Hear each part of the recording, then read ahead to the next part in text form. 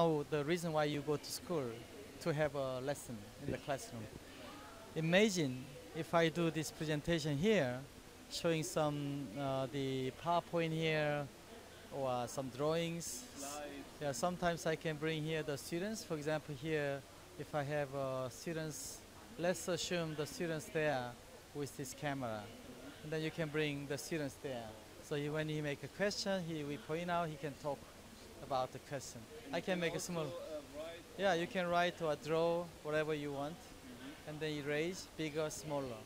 So what we emphasize is, if the teacher use this machine to show this one the projector screen, even he teaching the classroom in the back, the students never complain about teacher teaching in the backside. And once this is really proved, then why teacher should be in the classroom? Why students can see this one in the smart device, then why students be in the classroom? This is exact meaning that we are emphasizing. That's the smart school. So the first step we are trying to do is teacher has to make a lesson using this device, either in the classroom or in his office or in the studio like you have. This whole studio here, very small place, yeah. Even it can be in your room. So every room has this this amount of space. Yeah, they can put these two screen in the front, and sometimes you can bring the students in that screen, and they can make a presentation. Sometimes you can make a beautiful studio like this. Welcome to my classroom. Green, yeah, because I want to take the teacher in the virtual space where we have a three virtual electric whiteboard. You know, the history in the classroom starts from blackboard and whiteboard. After that, we have an electric whiteboard. Now we are calling virtual electric whiteboard here. So they have a three virtual electric whiteboard. One they can show live camera, the other one for students, and the other one is a PowerPoint, for example. Mm. All that one you can do this, and we provide the teacher to change every monitor. If you want to have a scene like that way, you can modify. You can make a smaller, bigger, very easily here by, by yourself. All the tools here is managed by the teacher and professors, mm-hmm. so they can make every scene by themselves. We make uh, up to 12 different scenes.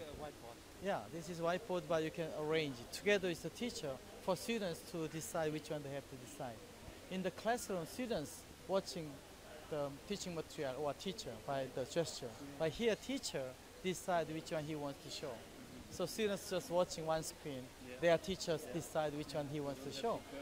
Yeah, that is much more the immersive way of teaching, and also students doesn't distracted by selecting which one they have to watch.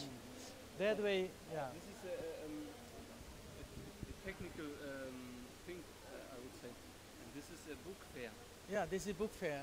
We are trying to make a book. education for education, Yeah, right? book has to have now every book is a e-book, Yeah. so they can see all the book in the in the uh, smart device.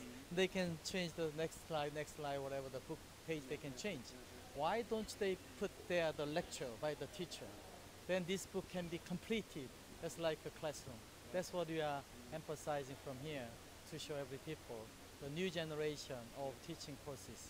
That's why we are very emphasize the e-book in the smart world has to have video in the book to complete lessons there. That's the whole our message. Thank you.